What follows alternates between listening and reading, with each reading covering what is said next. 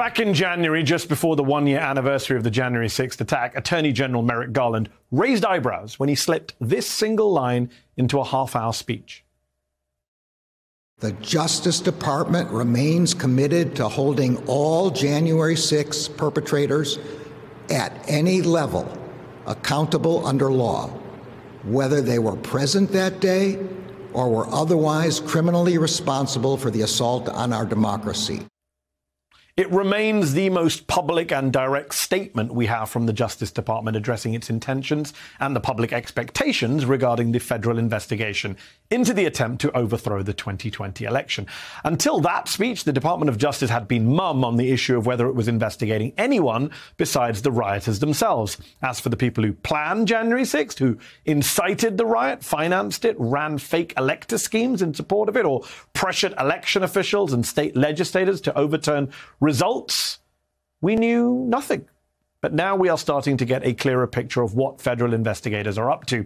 In a series of scoops since March, the New York Times has reported that the Justice Department had substantially widened its investigation to include Trump and his allies' efforts to obstruct Biden's win, the fake elector scheme, and the financing and planning of the rally that preceded the riot. That one of the planners of that rally is cooperating with the federal investigation and that the federal investigation has brought on a career federal prosecutor specifically to oversee the investigation into efforts to stymie Biden's electoral certification.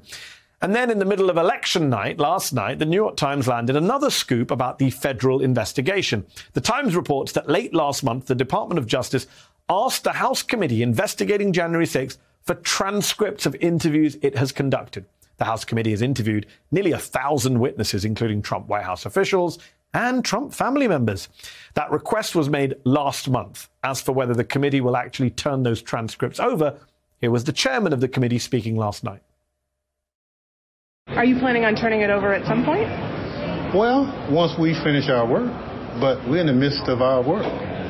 So you Uh, if they want to come and talk, just like we've had other agencies to come and talk, we'd be happy to talk to them. so you're But we can't give them access to our work product at this point. so you'd be more or less okay with like an in-camera review. If they said they want to come and look at something, we'd say, come on. But we can't share it. You know, we can't give them, you know, unilateral access.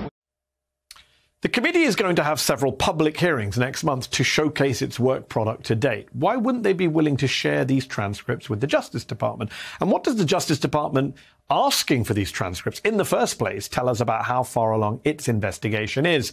Who better to ask than Joyce Vance, former U.S. Attorney for the Northern District of Alabama and professor at the University of Alabama School of Law. Joyce, thank you so much for being with us tonight. Uh, first off, can you help us understand the distinction Chairman Thompson is making here? He would be okay with letting the Justice Department review their transcripts, but he won't just hand them over. How is that different? Why does it matter? This is something that lawyers will be familiar with. He's offering DOJ the opportunity to come and sit in the committee's offices, review documents, take notes on them. But he's saying you can't have physical copies. You can't go back and put them in your computer system and scan through them and, and use them in whatever way you want to. You can use your notes, but you can't have the original documents. So, what could a Justice Department investigation use those transcripts for? A lot of different things. It's very interesting. This might be one way to uh, streamline the process of deciding what witnesses you'd like to interview or put in front of the grand jury if you're DOJ. You can look through the notes, decide who has information not on matters that the committee is interested in, but on criminal statutes that DOJ might be investigating. So that's one possibility. I don't think that these transcripts become a substitute for DOJ thoroughly investigating witnesses on its own. It is perhaps an aid. In some cases, DOJ can be obligated to turn over information from witnesses, although not typically when it's in the hands of another branch of government. But lots of good reasons for DOJ to want to take a look at these transcripts. So, Joyce, as you know, I'm one of those people who keep saying, Where, oh, where is Merrick Garland? I'm impatient. And the defenders of Merrick Garland often say, Well, he can't comment publicly. We don't know what's going on behind the scenes. So let me ask you this. From the public reporting we have so far, is it possible to tell how far along this DOJ investigation is? Or is that all still a black box? I think you can speculate, but to be honest, I think we'll find out how far along DOJ is uh, in its investigations when we wake up one morning to find that indictments have been returned. This isn't really something that you can gauge by knowing that DOJ wants to see these documents. It is suggestive of the fact that DOJ is engaging in a broadly based investigation that fulfills that promise that Merrick Garland made on January 5th that he didn't care how high up people were, who they were, that if they were involved in January 6th, which I took to mean the entirety of the big lie, that DOJ was heading in to take a look. Now, I don't have a great segue here, but I absolutely have to play you this piece of tape we just got in former President George W. Bush was delivering a speech at his presidential center today at Southern Methodist University in Texas. And while talking about Russia and its president, he made what must be one of the biggest Freudian slips of all time. In contrast, Russian elections are rigged. Political opponents are imprisoned or otherwise eliminated from participating in the electoral process. The result is an absence of checks and balances in Russia and the decision of one man to launch a wholly unjustified and brutal invasion of Iraq. I mean, of Ukraine. Iraq, too. Anyway. Uh, 75. Uh,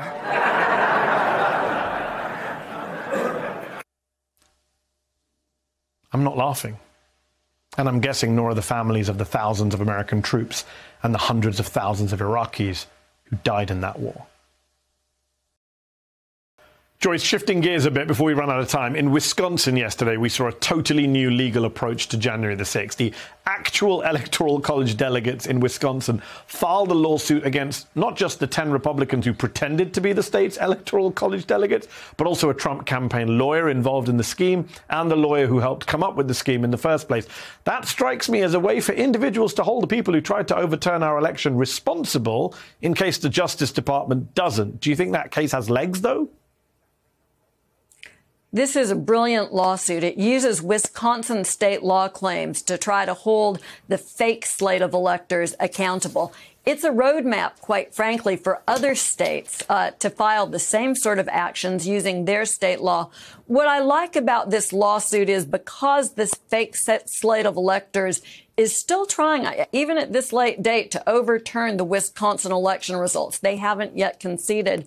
This lawsuit seeks declaratory uh, uh, and injunctive relief, the sorts of legal remedies that would prevent and deter future uh, faux electors and perhaps this entire slate of faux electors from taking similar action. It would impose, if it's successful, large amounts of punitive damages.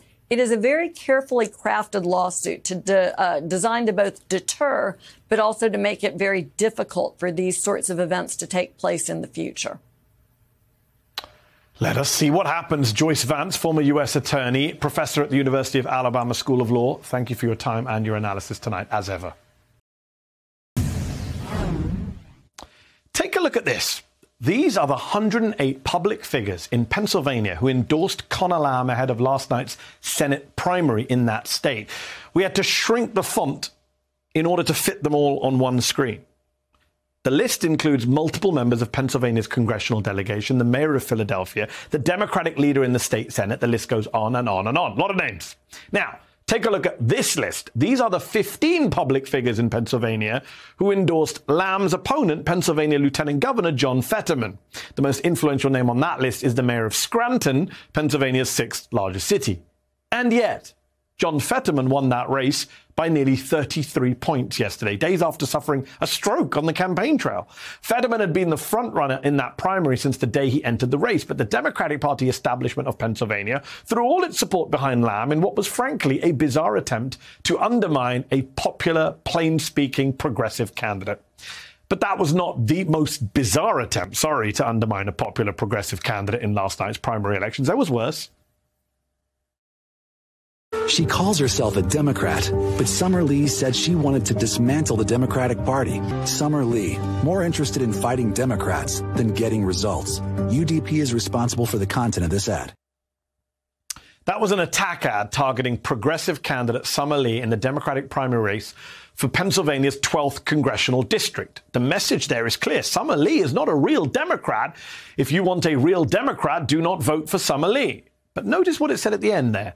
UDP is responsible for the content of this ad. UDP stands for United Democracy Project, a super PAC affiliated with the national pro Israel group AIPAC. Now, set aside for a second the fact that that attack ad has nothing to do with AIPAC's stated goal of supporting Israel. AIPAC is not a liberal group. AIPAC is currently supporting 109 of the 147 Republicans who refused to certify President Biden's legitimate election victory. But here they are in a Democratic primary running ads saying you should not vote for a progressive candidate because she might fight with other Democrats. According to the progressive group More Perfect Union, that AIPAC linked super PAC, along with another pro Israel group, spent more than $3.3 million in that one congressional race trying to defeat Summer Lee. Right now, though, Summer Lee leads her more centrist opponent in that race by around, well, less than 500 votes, with nearly all precincts reporting. So that may not have been money well spent. We'll see. But elsewhere, anti progressive super PACs have had more success. Last night in North Carolina, a group of super PACs, including those two that I just mentioned, spent millions to defeat progressive candidate Nida Alam in the de- Democratic primary for North Carolina's 4th congressional district. Alam was campaigning on an anti hate platform after her friends were killed in an anti Muslim hate crime in Chapel Hill, North Carolina. Outside spending in that race favored her opponent by nearly 10 to 1. Alam lost her primary last night by 10 points. Also in North Carolina, those same PACs spent millions to defeat Erica Smith, a pro choice candidate who was running against a Democrat with a history of supporting anti abortion causes in North Carolina's 1st District. Outside spending favored her opponent by nearly 4 to 1. Smith lost that primary by more than 30 points. A similar group of super PACs have already spent more than $2.2 million to try and defeat progressive Jessica Cisneros in her primary race against the House's lone anti abortion Democrat Henry Cuellar ahead of next week's runoff. So, what were the lessons for progressives last night? And how can they stand up to this wave of outside spending against them in Democratic primaries going forward?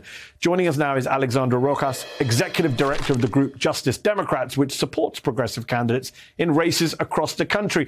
Hello, hello. Thank you for joining us this evening. Justice Democrats has been involved in a lot of primaries. Uh, we've discussed it, you and I, many times. AOC, Jamal Bowman. Is it fair to say that outside spending against progressive candidates has increased in recent election cycles, especially this one? That would be absolutely correct. And I would argue that there are several organizations and entities that have formed since the beginning of Justice Democrats because uh, they would rather, uh, and you know, you you mentioned Summer Lee in Pennsylvania 12, uh, light money on fire in a lot of cases, then invest in uh, candidates that look like the base of the party, which is increasingly working class, progressive, and and women, especially Black women, being the backbone of this party. So it's definitely been an increase uh, in cycles and one that we've expected.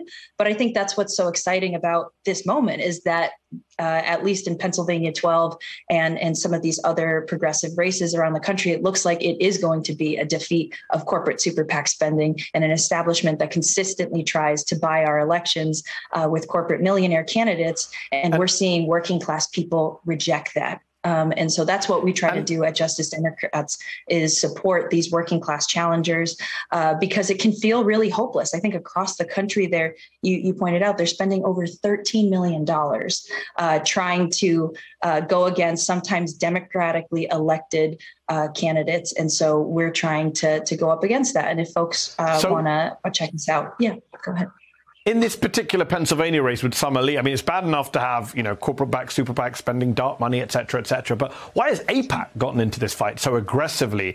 And why do none of their ads mention Israel, which is the issue they actually lobby on? Well, I mean, I think that, you know, what we have seen is that it's not just about uh, this one issue. It is about defeating progressive women of color in a lot of cases. It is about uh, stopping this rising generation of diverse working class progressive leadership who is willing to take a stand on human rights across the board, no matter what country might be violating them. And so, you know, we have seen in this election that they are going to spend whatever they can, but there is, you know, they can spend a lot, but you know, it's about progressives building the infrastructure cycle after cycle, which I think we are seeing. Uh, the first cycle in 2018, obviously, we had a huge upset election with Alexandria Ocasio Cortez unseating Joe Crowley. The rest of the squad, from Ayanna to Rashida to the next cycle, there was Jamal Bowman and Marie Newman and Cori Bush. And so uh, we are feeling yeah. really, really good, even though it's really hard right now for so many because cycle quick, after cycle, we are growing against an institution that has question. had decades decades of, of support before. Go ahead. Sorry, we're almost out of time, so I'm jumping in. Quick last question. If Summer Lee wins the general election, gets elected to Congress, joins the squad, what's the strategy? Is there going to be a lot more uh, flexing of progressive muscles in the House? Well, I mean, I think that, you know, we're all on board to make sure that we get through uh, the general election. If she gets elected, she would become the first uh, black woman to ever represent the state of Pennsylvania. Uh, and, you know, yes. we are very explicit about what we're doing at Justice Democrats, which is building a mission driven team on the inside of Congress that's going to fight for the, uh, you know, solutions that match the scale, scope, and urgency of the problems that we're facing and reject corporate PAC money. Uh, and we're going to make sure that that, especially uh, heading into November, where, you know, we, we don't know what the what the majority will look like, um, is going to be really critical. Thank you so much for joining us tonight. We'll have to leave it there. Alexandra Rojas, Executive Director of Justice Democrats. Appreciate your time. Thank you. In 1991, the US women's soccer team won the world title, but they did so wearing hand me downs, jerseys that had previously belonged to a US boys' youth squad. Players had to buy their own shoes and make do with a meal stipend of just $10 a day, meaning the best player at that tournament subsisted nearly entirely on peanut butter sandwiches and free Snickers bars. You might think that after winning the World Championship that year, the women's team would earn a little respect from the US Soccer Federation. But they didn't. Come 1996, the same team won the Olympic gold medal. And yet, for all that glory on the field, the players were making about $10 a day. When they asked for bonuses after taking home the Olympic gold, a soccer official told them, quote, don't be greedy. That official suggested they should be happy enough that they got to wear a jersey that said USA on it. The US women's soccer team has been fighting for pay equity for decades. And even though the team has won a record four World Cup titles as well as four Olympic gold medals, they have been paid pitifully less than their male counterparts, despite having had far more success on the field and having generated much more money for the sport. When members of the women's team filed a federal equal pay complaint against the US Soccer Federation in 2016, they noted that the women's team brought in nearly $20 million more a year than the men's team, but were paid almost four times less. It has taken a long time as well as a contentious gender discrimination lawsuit against US soccer to finally enact change. But it has finally paid off. Today, the US Soccer Federation announced that it has reached a deal to give equal pay to the US men's and women's national teams. For the first time, players on the two teams will receive the same pay and same prize money. In addition to guaranteeing the same paychecks for taking part in international matches, the deal includes a provision that will pool the unequal payments the team received from FIFA for participating in the World Cup. So it is truly a landmark deal. I should also mention that I woke up to this news this morning and immediately told my youngest daughter, who is also a soccer player and is also these days rightly obsessed with the word misogyny. And she, well, she was ecstatic.